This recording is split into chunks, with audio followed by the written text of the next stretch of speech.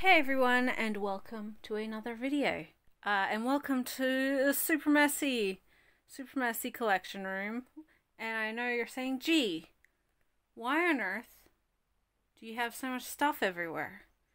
And to that, dear viewers, if you read the title of this video, is because I've been going through and unhauling once again. Um, so first and foremost, as always with these unhaul videos, don't take any of these choices personally. The reason that I do regular unhauls is because I like to prioritize things that are my absolute favorite that I reread on a very constant level.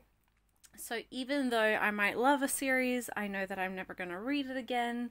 Um, as well as stuff that I like, but I'm probably never going to get re- revisit, as well as series that are like a one and done read. You know, you read it, all the twists and turns are pretty evident. You don't gain necessarily a huge amount. Um, rereading it, or there's a lot to, um, like, uh, there's a lot that is is pretty um, obvious after that first read so that I'm never going to revisit. Or, of course, there are some things that I just don't like, but those are typically things that I bought one volume of and was like, eh, not for me. Although I don't think there's any of any of those in this this particular um, unhaul. Uh, I'm very very picky for uh, my purchases for what I support. Um, those who've been following the channel for a long time know that, know that I don't buy every single release just because I don't have the time or the space or definitely the money uh, to do that. So, um, this is just how I keep my collection in the state that I, I most prefer. And I also think it's an, a great habit to form if you can regularly kind of cleanse the collection, make you look at the stuff that you own with new eyes. It really is important because so often I think people get caught up in the idea of having a really large collection, owning as much as you can. Right now, with COVID, there's a huge amount of scarcity, so there's a huge amount of FOMO buying. Um, people are still kind of trying to yeah, occupy themselves, buy things, even if they're not necessarily really that certain about it, just because they need something to do, if that makes sense. Um, so, I'm going to go through everything that I am unhauling. Um, I might cut between a couple of different videos, so bear with me. And yeah, I hope you guys enjoy. First up on my unhaul stack is Kiss Him Not Me, the complete series, uh, reverse harem comedy, you know, rom com. That is very like very good. I do enjoy it. It has a lot of self awareness for like Fujo culture, um, because Junko herself is a BL creator or mangaka. Um, the premise, I mean, is problematic. Any, I think any series that the whole idea is fat girl loses weight, becomes attractive to a bunch of boys is inherently really problematic. But I will say that one, my, that my favorite boy doesn't fall into that, and two, my favorite boy wins. So I do think that maybe it's too little, too late, uh, but it does. It doesn't actually stick to that premise of like, oh well, the only person who could ever love her or people would only ever love her because now she's skinny and attractive, right? Um, I do think it kind of bucks that that grossness of a premise, uh, like which is typical for this. Oh my gosh! Don't knock things. Gee. Um, underneath that, we also have High School Debut, which is a fun, you know, high school rom com, opposites attract piece. Really good, really fun, funny. Um, but similarly to Kiss Him Not Me, uh, I'm probably never gonna read this again. Kiss Him Not Me, I I'm happy. Like I the boy that I like won. I'm it's it's a good time. There I still like a couple grown worthy spots. high school debut, similar thing. I like it. I like the relationship. Like a lot of the characters. Don't like a lot of the side characters or side relationships, maybe, um, of what I can remember. Um, and you know, ultimately, I'm probably just not gonna get back to it. Next in the stack is Nijigahara Holograph, uh, Inio Asano's most obtuse manga, maybe. It's very good. It for a long time was my favorite. Um, and I do think that it's it is very very good, but I've kind of know, I I kind of go backwards and forwards on Asano a lot, and really rereading it, it didn't capture me the same way that it did the first time.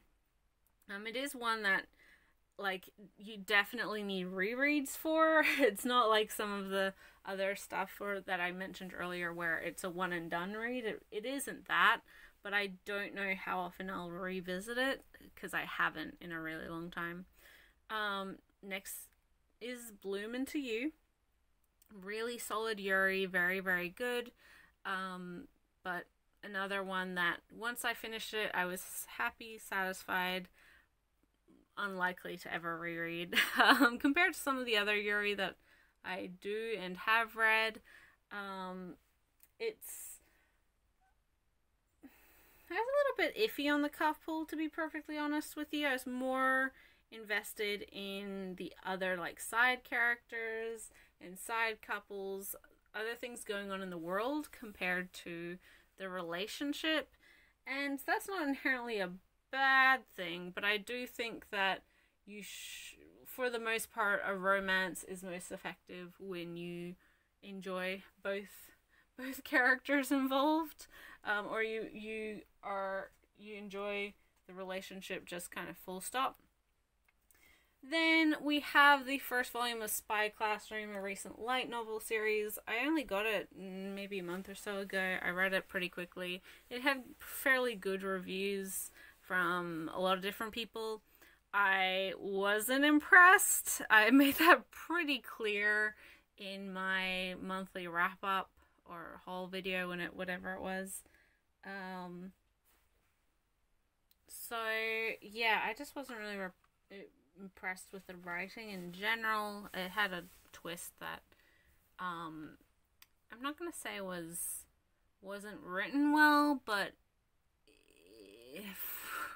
it was something that I picked up on really early and then I thought was a mistake and then get kept getting really confused because I was like trying to figure out why things were written certain ways and like it it becomes obvious as to why but i just got was really frustrated by the end of it. I was like oh this is kind of clunky and annoying. Um so yeah not gonna not gonna read that one anymore and uh, that needs to find a new home. We have galaxy girl and panda boy and sweat and honey um galaxy girl panda boy by junko kawakami Sweat and Honey by Mari Okazaki. The, these are both josei um, short story collections put out by Tokyopop way back in the day. Their failed passion fruit line, um, which is a cute, I think, uh, imprint uh, name.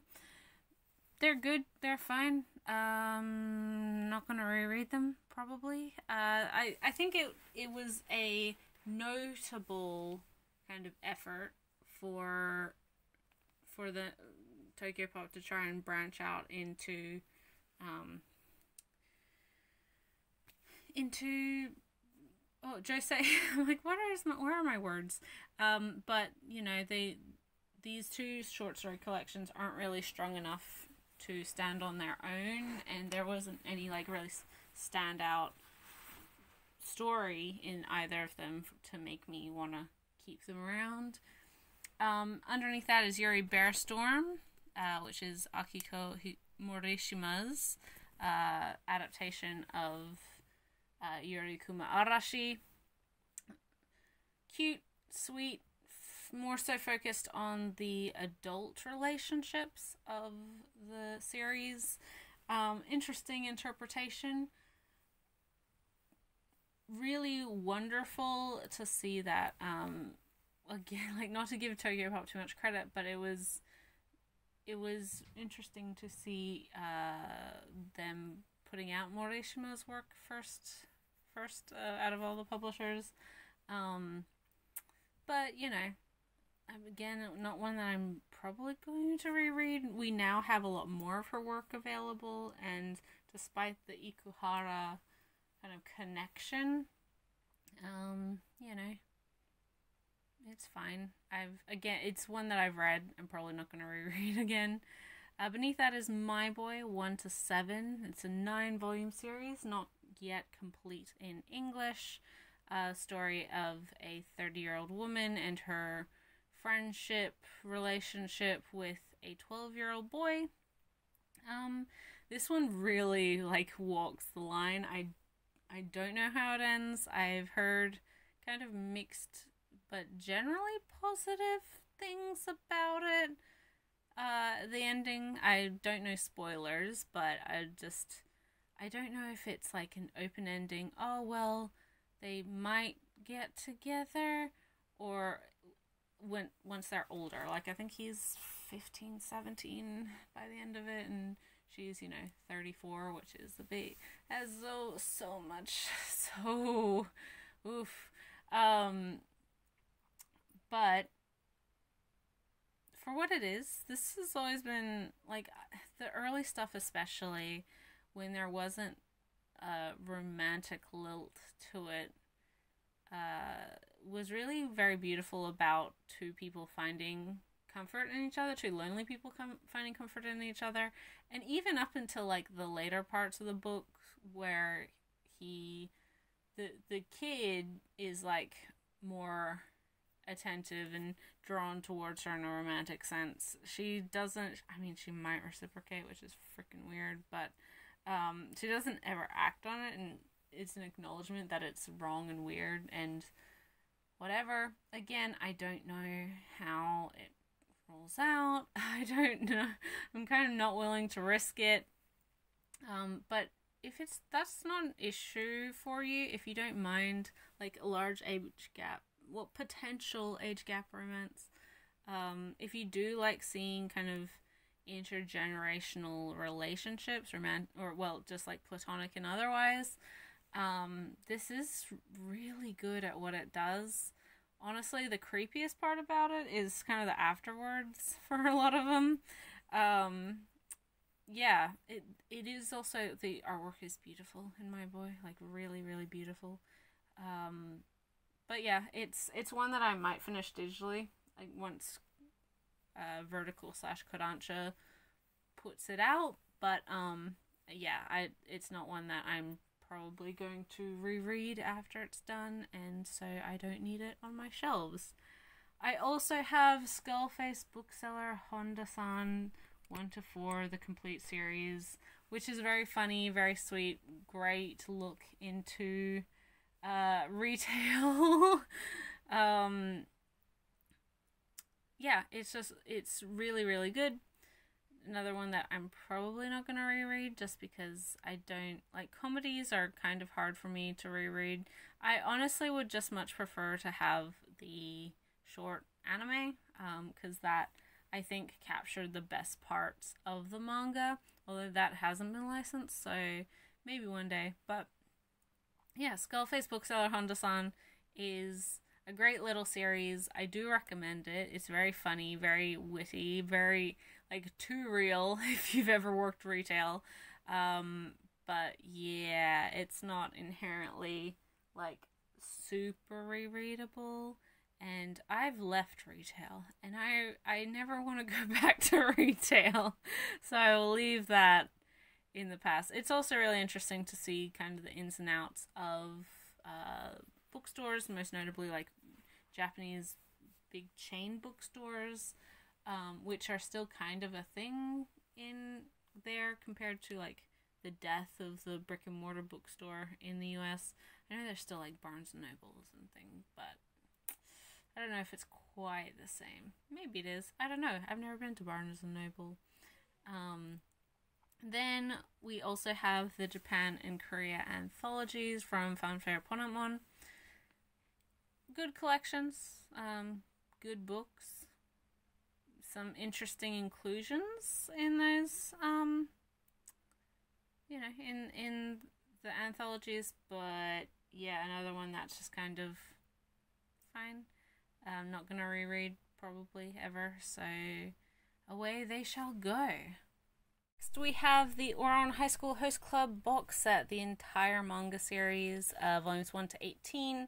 This is, I mean, it's Ouran High School Host Club. It's a fun, you know, uh, reverse harem comedy about a girl who is goes to a super fancy school despite being uh, not super wealthy or fancy uh, and ends up in the debt of one of the school's club, the host club who entertain the young female students, well, actually, any of the students um, at the school per request, and uh, she has has is hiding her um, hiding the fact that she's a girl to the rest of the school. The host club knows, um, and it you know it's just a fun romantic comedy. It's one of the classics of that like mid two thousands it's a good time. I I I very much enjoyed it. It's also like a nice uh, if you've only ever seen the manga or uh, seen the anime, it's the manga has a lot more to it, a lot more story after after the point that the the anime adapts, which is pretty cool because there's a lot of really fun characters and storylines, and you get like all of the you know drama, sad backstories for everyone as well. Um, but you know, Host Club will always have a fond spot in my heart. Bisco Hattori, um, despite creating a cast which is 99% like the uber wealthy, made them all pretty likable. um, Haruhi is wonderful. She's a great protagonist. And, you know, it, it was really cool for what it was at the time. Now we've got like it it it laid the foundation for a lot of what, the cool stuff that we have today. It hasn't aged necessarily the best. Um but it's still fun. It's still very much a classic. It's still very much beloved, and as I said, it's still one that I will be near and dear and fondly remembered. Um, but you know, I it's it. I've kind of grown out of Ouran, and uh, that's that's okay. And if I ever want to revisit it, I've got the anime. It's it's fine. I'm not gonna be completely cut it out of my life. Next, we have of the Dead, volumes 1 and 2 by Kumiko Suekane. This is the saddest inclusion. the saddest inclusion in this whole bunch. Um, this I I think's just been dropped. I think just Seven Seas it didn't sell well for them or the like manga side the Japanese side the publisher changed or something. Something happened because uh, this is complete in in Japanese at five volumes. It's been several years since we got volume two, where I I doubt I heavily doubt that we will see the rest of it in English, which is really sucks because I really like one Kumiko Suekane's work, but two, I really like this particular series of hers. Um, it's what if Marie Antoinette? Well, it's it's yeah, pre-revolutionary France, but zombies, and also if Marie Antoinette was killed by zombies on her way from Austria to France um, for her marriage, and her twin brother is now take like pretending to be her to to prevent you know war breaking out between the two countries. And there's some like maybe he's also possessed by a demon. I don't know. It's cool. I really like it. It's just such a shame that it doesn't seem like we'll ever get any more of this um, and maybe I will be, you know, proven wrong. I don't know, but I I mm, I don't like having unfinished series on my shelves. Just generally, it just kind of bums me out. Um, and also, you know, there's nothing worse than an unfinished story. I think. Um, I mean, there is. There's over overworked uh, stories, things that that outstay their welcome. But it's just really sad when a publisher has isn't able to complete something. Um, and there's not too many like incomplete series that I have in the collection. I think notably the only things that I can think of is Wandering Son and um, Bride of Deimos. Uh, I don't think there's any others that I have. Uh, I don't know, but yeah, you know, I'm sad about it, but I shall, I shall let it go. Uh, underneath that is that blue sky feeling, sweet little coming of age, um, L- like LGBT story about two boys, two classmates, um, and one kind of realizing his sexuality in so far as like be trying to be an ally to to his friend who is gay. And then through that like coming to terms with his own feelings and identity. It's really good um but you know it's fine. And uh, again not one that i'm probably going to reread just because there's a lot of other i don't want to say similar stories that's not true. But well i mean it is true. And that but that's not the reason. It's just like sweet lovely. Um i'm happy that viz with this series was diversifying more into like lgbt stories that weren't just relegated to the like sublime imprint.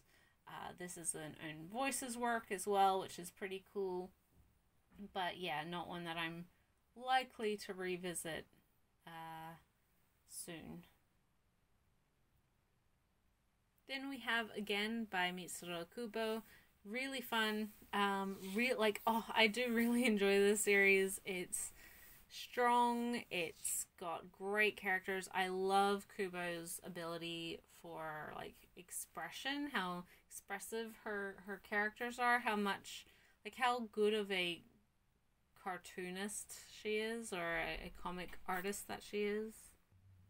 This is a like um, second chance series wherein a guy falls down the stairs uh, on his graduation day and is sent back to the first day of high school and he's given a second chance at, at his high school life and really like I really like Imamura, our main character. He's great. Um, I like so much of the the cast, all the supporting characters. Um, yeah, Kubo is just really really good at creating realistic characters and realistic teens um, too. Not super like I I don't really like the romance element in this. I just not that thrilled with it. Um, but this is one of those series where there's like a lot of twists and turns, and it's very funny, and there's kind of like a mystery going on as well. And it's one that I don't see myself rereading uh, with the same fervor and with like the same captivation uh, as I did the first time, which is not inherently bad, but is just kind of part of part of what these sorts of series are. So, uh, yeah, again, really, really good. I do highly recommend it. Um, and I really like Kubo's work. This is definitely the more um, approachable compared to Moteki, which is also very good, but like, ooh, unlikable protagonist. Yeah. Um, yeah, but, you know, to to a new home it shall go. Then we also have Dolis, which is a single volume uh, josei drama about a toxic relationship. Really interestingly printed. It's got color printing um, in it. Really a unique little book. Not the most light-hearted of reads. And because of that, yeah, not one that I'm likely to revisit anytime soon. Um, you know, it's not fun reading about a toxic relationship. It's done well, but I don't. Mm, I don't want to reread it, if that makes sense. There's nothing that wants me to you know, pick it up again. Uh, and then we have volume one of BL Metamorphosis. This is fantastically sweet, really, really lovely. But it's one that I continued digitally, and um, you know, I assessed my thoughts, and I have it digitally. I don't need it on the shelves. It's cute, a really wonderful um, one that I am happy that we got. Uh, totally understandable, like why it's so beloved. It's it's very good. Recently completed at five volumes as well in English. Um, yeah, but not one that I personally need in print on my shelves. I have Genkaku Picasso by Usamaru Furuya. This is one of my favorite um, Furuya series, actually. I love it. I highly recommend everyone to read it. Um, but I find I don't revisit it enough, like in the volume format um, or on print. I don't need it in print, especially because this is one of those titles that is really readily available um, on the Jump app. Like, I just, if I want to reread it, it's there, right? Um, and maybe that may change in the future, but also, like, I won't be heartbroken if I am never able to reread this ever again. But I do, in saying that, I do, I do really like it. I do think everyone should read it. It's super good. It's super, super good. Um, and then we have Captivated by You, which is uh, Yama Wayama short story collection about uh, high school mm, high school boys. It's very good, beautiful, beautiful artwork. Um, I liked it. Again, I'm, it's probably there wasn't really a story in it that stood out enough to me that I would want to reread it um, again, if that makes sense. And I find a lot of short story collections this way. Like this isn't me picking on any particular series. I I have very few like short story collections that aren't anthologies or aren't from creators that I really really love. Um normally yeah, normally it's just kind of I, I can be left a little cold when there's not a huge amount to be uh, a huge amount of time dedicated to particular stories. Then we have speaking of, then we have all of the Erika Sakurazawa releases from Tokyo Pop. These are all more josei works um, all very strong, all very unique, um, from a you know noted gal mangaka. Like this is definitely some of her seminal pieces, and like they're really good, really interesting mix. Uh, I don't again as maybe this is a me issue, um, but like I didn't like any of the characters enough to be invested in their stories and half the time like most of the time that's the point is that these are pe- like people who make the wrong decisions they're not likable characters but and that's fine like that's great and sometimes i'm really into it sometimes that's you know something i'm i'm all for i didn't especially because a lot of this is focused on romance or relationships between women. Um, I don't know. Maybe I've just had so much like personal experience with like yeah having to deal with people who aren't necessarily the best that I don't want to read it in my fiction. Um, So, you know, again, maybe it's a me problem, but I don't it's it's not something I want to keep hanging around. Um, underneath that is just a random volume of Junjo Romantica. I I don't like Junjo Romantica.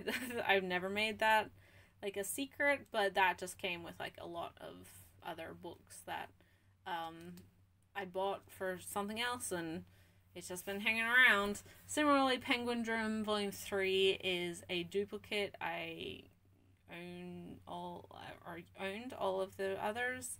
Um, you'll see the rest of the series pop up a little bit later, actually. Um, and, you know, I don't need duplicates for one, but I definitely don't need duplicates of Volume 3. Uh, keep your hands off of Eizouken. Great series, really unique, um, great anime. Definitely the thing that got me into it.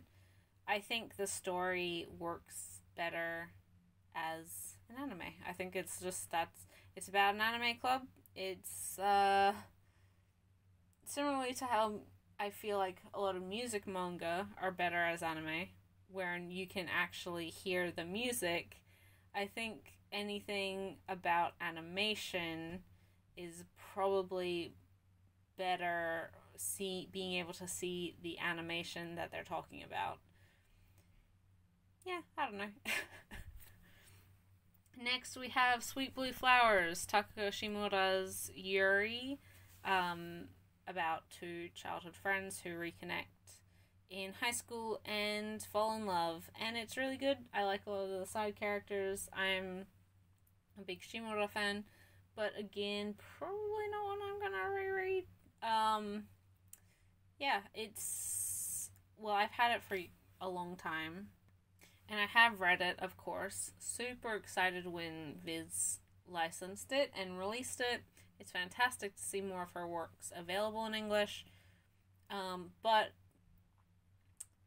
it's been like six years, five, six years, um, and I haven't reread it once in that time, um, which is not a good uh, sentiment or like obviously it's a good indicator that I'm not really wanting to reread it. Uh, and so away it shall go. And finally for the stack we have all of the Nagita Ka- Kabi um Nagata Kabi um what's it called? The memoirs. Oh my goodness. Uh, my lesbian experience with loneliness, my solo exchange diary 1 and 2, and my alcoholic escape from reality. Don't get me wrong, these are so powerful. Um, I'm so glad that we're getting these licensed. They are so important. I have an irrational, like, um, investment in Kabi's health and well being. Like, I really just want her to be okay. Um, and each of these are like really interesting explorations of her mental health and her relationship with other people and her relationship with her addictions. Um, it's just it they're it, ooh they're very powerful memoir, uh, but they're also a downer, and I I will definitely be continuing following her works digitally, but they're not ones that I ever reread once I read them the first time. Um, so I will be still supporting for her. I will still be wishing for her, you know, her best best life, but I just I can't I don't want to I don't need them on my shelves if that makes sense. Um and so yeah, uh, they they've already found a new home actually, so they will be getting packed up for shipping very soon. We have Soul Eater, the Perfect Editions, volumes 1 to 4. Uh, I really like Soul Eater. I think it's got a lot of uh, spunk. I think it's quite um, fun and funny and got a lot of character.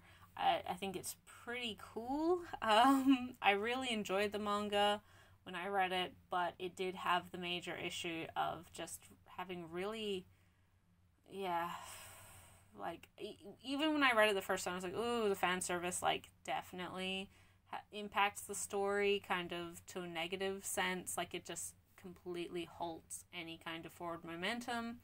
And although these are lovely books, although I do have like a lot of fondness for Soul Eater, and although this is the better release, um, just even translation wise, I rereading it, I'm just like, oh yeah, I I can't really get past the fact that uh, so much cool stuff is happening, and then oh we gotta just stop everything and have a boob joke.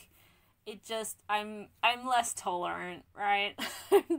I've got a very high tolerance but i'm just very low tolerance for this sort of shenanigans nowadays if i want to revisit soul eater i've got the anime um that's that kind of manages to yeah tamper down some of the the worst of the odd pacing fan service.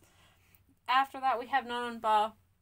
Um, fantastic little book. One, but ultimately one that I'm not going to reread, and I, I have enough other stuff by Mizuki in a similar vein that I don't feel bad, you know, finding a new home for it. It's not one that like I definitely need to have throughout my life. um, I'm glad to find a new home. Then we have With the Light Raising an Autistic Child, the complete series. Um, beautiful josei story about, well, raising an autistic child. It's about a young mother whose oldest son is born with autism and uh, a couple other developmental disorders. He's completely nonverbal, and her you know, having to ad- adapt to that, um, kind of coming to terms with the fact that her child needs very specific things, very specific levels of care that are not, you know, that aren't standard and the struggle within the Japanese like education and healthcare system to find the support that her her son needs. It's very very good. Um, super sweet, tragically cut short due to the death of the mangaka. It's just overwhelmingly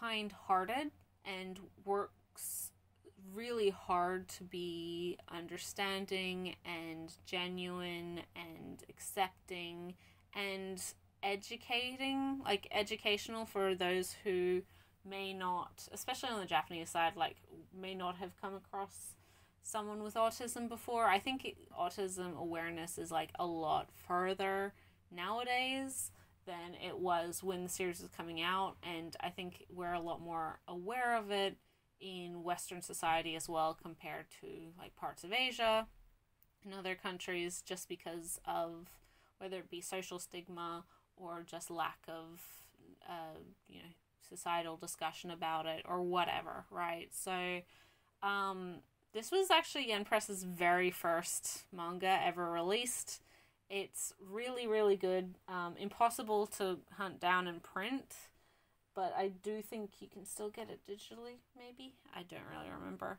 Um, it's definitely worth a read if you can find it and if it interests you. Um, yeah, I just I'm I'm glad that I was able to read it. It is very uh genuine, very very heartfelt.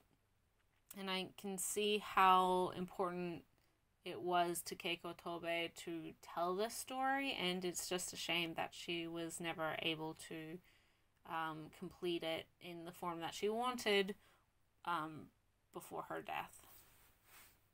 So we have Utena After the Revolution, um, a follow up sequel kind of to the Utena manga. Uh, I mean, it was a long time coming to get this license. Really cool that Viz did release it. It's an interesting read, interesting interpretation. Uh, I liked it a lot. Uh, like with anything Utena, it's um, a little bit obtuse, but you can. Well, I mean, you might.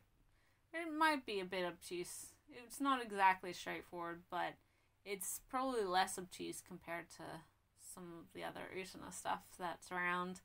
Uh, it's good, but yeah, not another one that I'm probably not gonna reread, and uh, I'm kind of yeah, just uh, finding an, a new place for it. Then we have Blue Spring by Taiyo Matsumoto, a short story collection that's uh, it's fine. Um, I was never super impressed by it, and despite being a huge Taiyo Matsumoto fan, I just it was kind of like a thing that I had. Um, so I'm finally just biting the bullet and, and getting it off of the shelf. Um, it's it's better suited for someone who will appreciate it more. Then we have Heart is Cursed by Asuka Konishi. Very, very good, um, you know, drama series about a woman who is dating her sister's former fiance um, after the death of said sister. Uh, it's it's oh it's good. I liked it a lot. It's wonderful. Um, but another one that I'm probably not gonna reread. I just um, if I do want to reread it, it, I it's available digitally. It's not like a huge um, investment. Uh, yeah, it's really interesting, really intriguing. It's one that has a lot of like ups and downs to it, and a really interesting look at a very complicated situation and complicated relationship. And I really liked it. Um, so yeah, I recommend it, but I'm I'm still getting rid of it. Next we have Pep uh, Pepita, which is Inoue meets Gaudi. Uh, obviously, it's a book documenting uh, Inoue's works uh, in relation to Gaudi. Uh, that's it's pretty much that. It's part art book, part educational, um, and all around pretty cool. It's a it's a unique little book put out by Viz, but I think Inoue's name kind of is what pushed that into being being done. Then we have A Distant Neighborhood and The Walking Man by both by Jiro Taniguchi. Um, these are both really good as well, but I like I appreciate and respect a lot of Taniguchi's works. They're a little bit too for boomers for me, right? Like he's definitely or he was definitely writing for men of his generation and not to say that they're not interesting or compelling or you know uh, emotive or empathetic stories they absolutely are but he's he's writing for people who kind of were born immediately like uh, boomers right? Like post-war a very very different japan who and and exploring their relationship with their parents who did survive the war or you know had to their experiences going through the war and um, there's i mean the walking man is that's a distant neighborhood. Oh, the walking man is is very um, internally meditative. It's pure slice of life. Um, about you know appreciating the everyday around your neighborhood. And it's lovely it's beautiful. Taniguchi was a phenomenal creator. Uh, there's no question of his talent. But as a 28 year old woman um, his stuff just i can appreciate his stories. I can't place myself into his stories which is fine. Like you don't need to, and you don't that that's not a requirement to, um, you know, for success either. Obviously, uh, but yeah, they're just they're written by a boomer, and it it's very much for boomers, which is fine. Again, like that's totally fine, but I'm not a boomer. like it's just that's not me though. Also, um, yeah, but I I'm really happy that Fanfare Ponent Mon is making more of his stuff available in English, and uh, he does have some more more titles being released as well. So, um, keep an eye out for them if you're interested. Then we have Wave Listen to Me by Hiroaki Samura. This is my favorite of Samura's works. I really love it. I'm following it digitally. Like, I follow the simulcast, simul pub of it, whatever it is. Um, well, through Crunchyroll. I should probably, like, switch to Azuki or something. Um, but I'm up to date with it. I never reread these these like actual collected volumes and it's it really feels like one of those one and done stories for me. Um, I love the characters. It's fun. It's funny. The premise is great, but yeah, I'm I'm just not gonna come back to it. I don't think. Then we have Fruits Basket, another the sequel manga to Natsuki Takaya's, um, you know, uber popular Fruits Basket. Uh, I am very positive towards this sequel. Actually, if you've just watched the uh, or just listened to, I should say, the podcast, the Fruits Basket Fruits Basket podcast that I put together with my co-host and our wonderful guest. Uh, we talk about Fruits Basket another, and I do think that for what it is, it's very good. Um, it's compared to the main series, not something that I'm super invested in or interested in. Like I read it, it was fine. Um, I like it for a lot of reasons. I also don't care enough about it to keep it around. that might be mean, but like it's it's reality, right?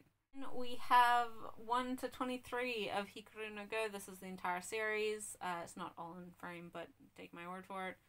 Um, I love Hikaru no Go. I think this is the best work that Obata has ever worked on. Um, Yumi Hotta, I wish she was making more stuff. Love Hikaru, love Akira, love Sai, love all, just like a whole bunch of the cast. It's wonderful. Um, if I want to reread it, it's on the Jump app, right? Like it's, I I don't need it on the shelves, and it's a pretty long series. It's probably the longest out of everything that I've talked about so far. Um, yeah, it's it's fantastic, and I'm sure someone else will love it as much as I did. Then we have the Akira box set. Um, I mean, what do I say? I liked Akira. I think this is a beautiful box set. I think it's fantastic that this incredibly popular and influential work finally got a full release, unflipped, all, you know, yada yada, you know, completely fantastic art book, all of that. Um, I'm not as much of an avid fan of Akira as other people, or even of like Otomo in general. Uh, I enjoyed it. I experienced it. I liked it. I'm not going to revisit it. and someone else deserves to have this fantastic edition of their favorite series ever more than I do. Um, so, yeah. And then next to that, we have Dementia 21, um, Shintaro Kago's, uh, yeah, two volume series about a uh, elderly care or aged care worker and all of the crazy shenanigans uh, in typical Kago style, uh, which is like also a biting commentary about how society treats treats its elderly. Um, it's very good. It's weird and wonderful and incredibly Kago. It's uh, yeah another one that like someone else can enjoy and love, and have forever in this beautiful box edition as well because I'm, you know, I've had my time with it. I like really like Kago and uh, I like his work a lot, but it's just not something I revisit enough to keep around. More books that are to be sold. Um, actually, this all of these are going to the same person. I've already sold them actually. So we have the box set for Revolutionary Girl Utena, the ma- manga. Uh, great adaptation, really interesting, uh, very beloved by a lot of people. Um, lovely box set as well. Will I read it again? Probably not. Um, and it is quite hard to find this box set, I believe. I don't know whether that's just because of the COVID situation or what. But yeah, so that one. Uh, yes, No, or Maybe, which is a BL light novel that I wasn't super enamored with. Um, it was fine, but I probably won't be reading anymore. We have Tableau Numero 20 by Est Em, which is actually a duplicate, so I actually I still have my copy. um, so nice to have a good home for that. We have the cornered mouse dreams of cheese and the carp on the chopping uh, chopping block jumps twice, both by Setona Mizushiro. Um, very well regarded dramatic BL. Uh, very good, long time coming uh, to be licensed again, not one I can see myself rereading uh, in the future.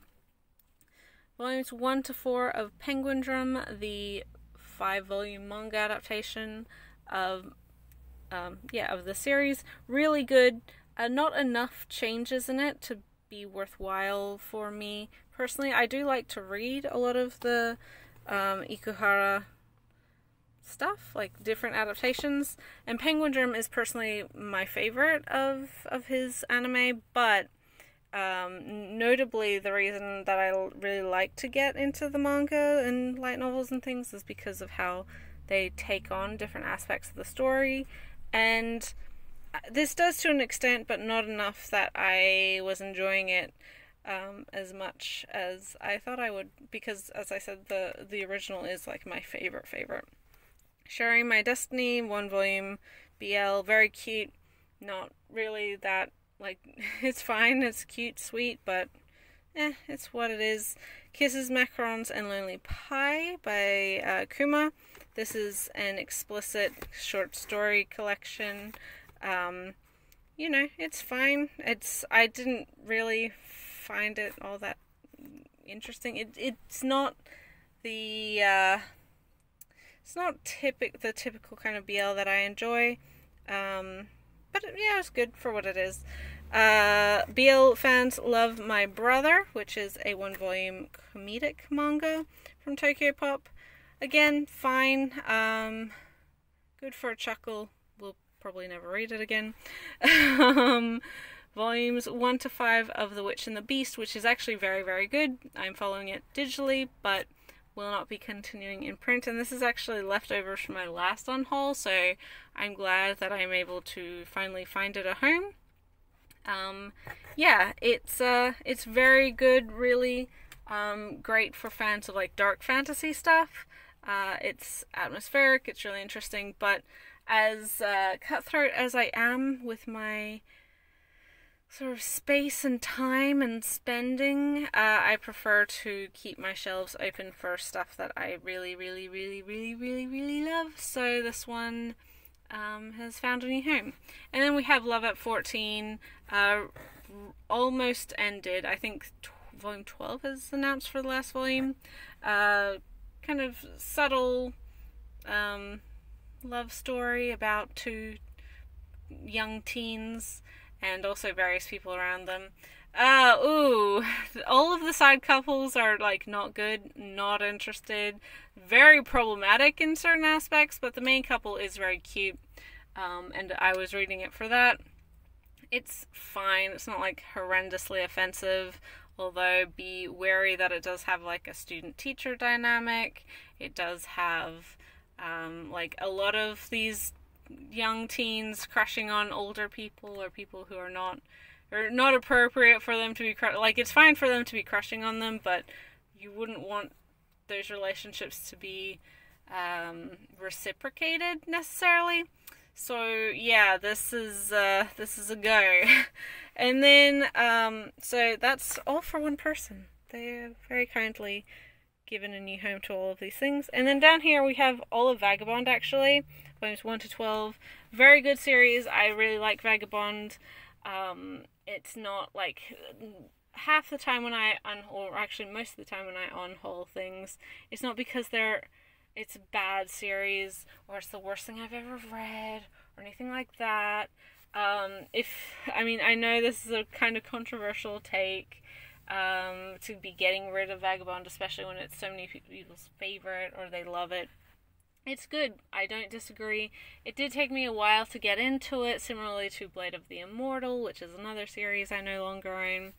Um, I like the cast. I think it's personally, I haven't read Real, but it's personally my favorite of Inoue's works. Um, it's just been, I've had it a long time, and I have not reread it aside from the first time that I like aside from the first time that I read it, I haven't reread it basically. Um, and I've had this series for years and years and years now at this point. Um, it's also on hiatus, kind of like a soft end slash, uh, yeah, not probably not coming back. Uh, who knows? Maybe that'll change, considering that is working on Real again. But you know, it's it's not it's like a lot of these kind of tent pole shonen, not shonen, seinen titles that are sort of the darlings of a lot of manga fans. Um, they're fine. They're not my favorite things. They very rarely like change my life to an extent that I would want to reread them a huge amount of times. I do like the setting. I do like the characters. I do like this reimagining of the Musashi story. Um, you know, it's a very well done manga. It's just a very well done manga that I have read and will probably not reread. And I know that, well, it's evident that this uh, is a very beloved series because this was the series when I posted my like online sales listing uh, locally. So everyone watching this probably didn't see it. Uh, they like this was the series that everyone was clamoring for. Everyone wanted it. Um, so it was just kind of luck of the draw, the first person to inquire, which was like within 10 minutes of posting that ad. Um, they they lucked out and they got it. Um, but yeah, it's it. I'm happy that it's getting a new home. If it ever comes off of hiatus, I will continue reading it probably digitally versus um, versus print um, or through my library because this is another series that again has a really strong library presence at least to the places that I go. Um, so yeah, I won't be missing out necessarily with this.